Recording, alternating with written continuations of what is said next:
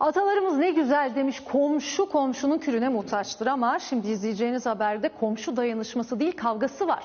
7 çocuk ve 22 torun sahibi 70 yaşındaki kadın iddiaya göre köy çeşmesinde darp edildi. Beni bir itti.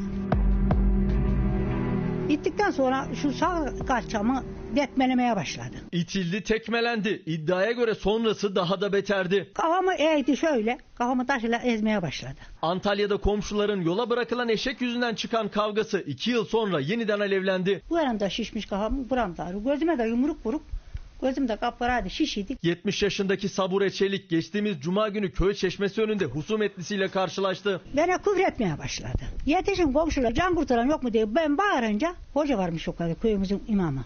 Bunu tuttu. Onlar bunu yatırmışlar. Bir ceset yüzünü bakıverdi. Her taraf perişan. 7 çocuk 22 torun sahibi kadının tek isteği adaletini yerini bulmasıydı. Hakkımı araya yoğurun. Adalet yerin bulsun.